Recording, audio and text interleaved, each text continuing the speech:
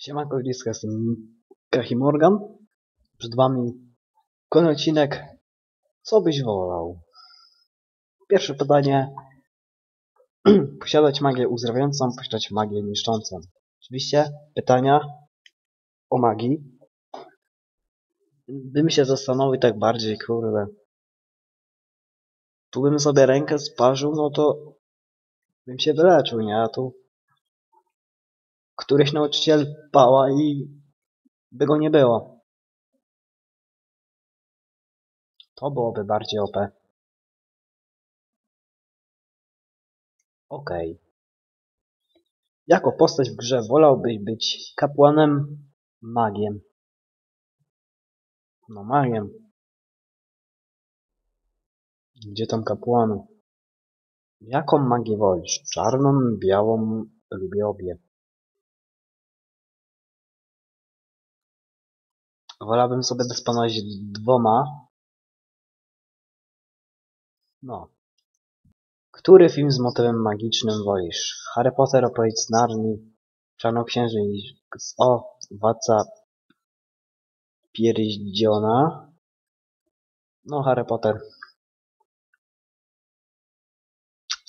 Ja byś zareagował, gdyby pewnego dnia odkrył, że posiadasz moce magiczne. No, Ucieszyłbym się, powiedział o tym komuś, wpadłem w panikę.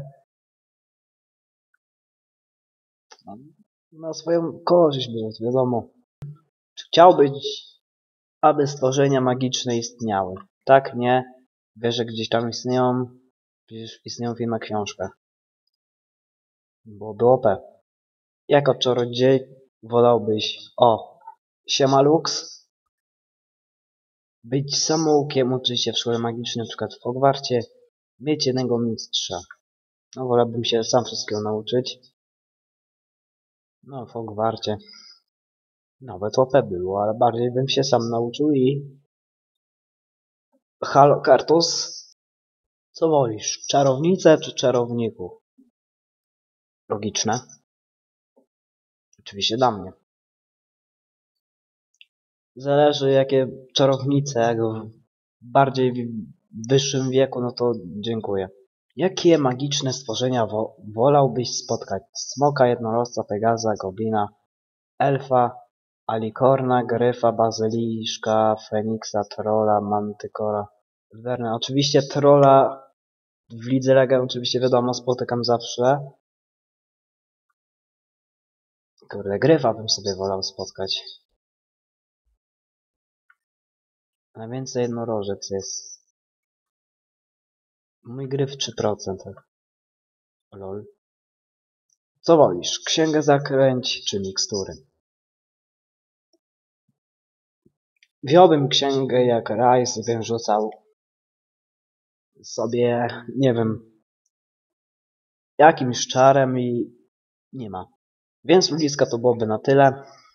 Mam nadzieję, że się oczywiście spodobało. Żeby nie było, że zapomnę o Margonem, Margonem jutro albo za parę dni. Jeszcze nie wiem, będzie mi się chciało.